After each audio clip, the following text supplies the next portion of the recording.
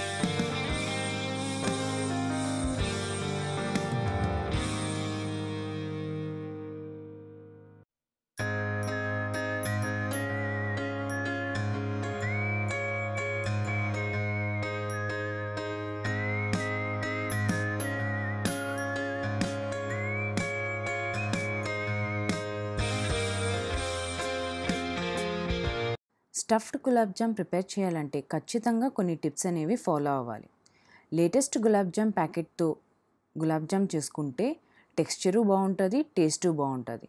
అలాగే balls prepare చేసుకునేటప్పుడు stuffing వచ్చేసి నేను ఇక్కడ పిస్తా బాదాం క్యాషూనట్ కోవా ఇవన్నిటితో చేశాను.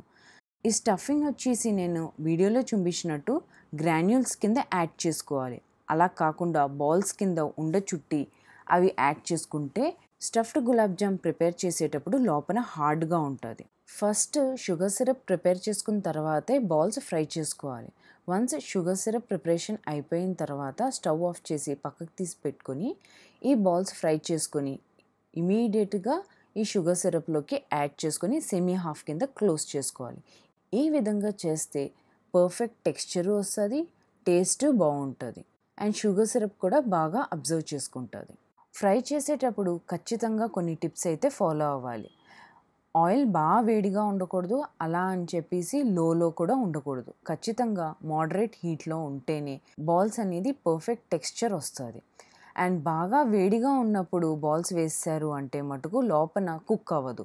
అలాగని లో ఫ్లేమ్లో ఉన్నప్పుడు బాల్స్ వేస్తారు అంటే మటుకు ఆయిల్ ఎక్కువగా అబ్జర్వ్ చేసి టెక్స్చర్ అనేది పర్ఫెక్ట్గా రాదు. సో ఖచ్చితంగా మోడరేట్ హీట్లో ఉన్నప్పుడే బాల్స్ వేసుకుని ఫ్రై చేసుకోవాలి.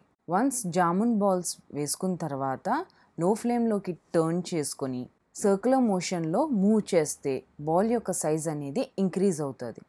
సో ఈ విధంగా పర్ఫెక్ట్ టెక్స్చర్తో గులాబ్ జామ్ బాల్స్ అనేది ప్రిపేర్ చేసుకోవచ్చు. సో నేను చెప్పిన టిప్స్ అన్నీ ఫాలో అవుతూ ప్రిపేర్ చేసుకుంటే ఇంట్లోనే పర్ఫెక్ట్గా గులాబ్ జామ్ ప్రిపేర్ చేసుకోవచ్చు. ఈ రెసిపీ మీకు నచ్చినట్లయితే లైక్ చేయండి మీకు తెలిసిన వాళ్ళందరికీ షేర్ చేయండి. అండ్ ఇంకా సబ్స్క్రైబ్ చేయలేదు అంటే సబ్స్క్రైబ్ చేసి పక్కనున్న బెల్ ఐకాన్ మీద క్లిక్ చేస్తే నా అప్డేటింగ్ వీడియోస్ అన్నీ అప్డేట్లో ఉంటాయి. అండ్ మరిన్నో క్విక్ టేస్టీ అండ్ హెల్దీ రెసిపీస్తో మీ ముందుకు మీ స్వాతి.